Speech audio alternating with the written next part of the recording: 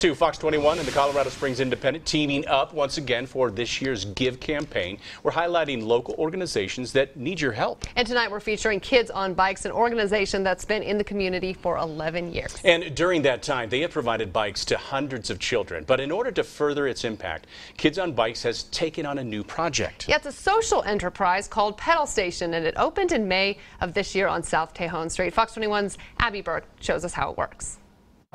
Every Tuesday and Thursday night, the pedal station is alive with activity. People are able to show up anytime between 4 and 8 p.m. and pull a bike from the pile and just get to work. This is Volunteer Fix It Night, where community members give their time to help refurbish donated bikes that need a little love. These bikes are coming into our doors from all over the city.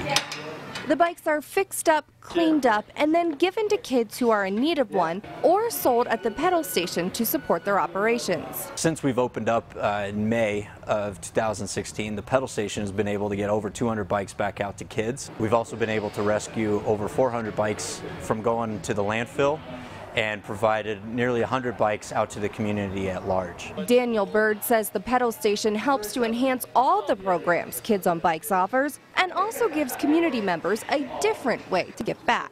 I don't feel like I like to be in a soup kitchen, for example, uh, ladling soup. But here it's, you know, it's what I like to do, it's what I know. It's a very tangible way that I feel like I can contribute. And kids in the community aren't the only ones who are benefiting. Most of my friends either don't have a bike or, you know, have a bike that isn't really appropriate for what kind of riding they want to do. You can score a great deal on a bike yourself and know that the money you're spending is going to a good cause. I've been able to equip a lot of my friends with bikes from here at a reasonable price and a bike that's appropriate for them. So that's it's been great for the other side as well.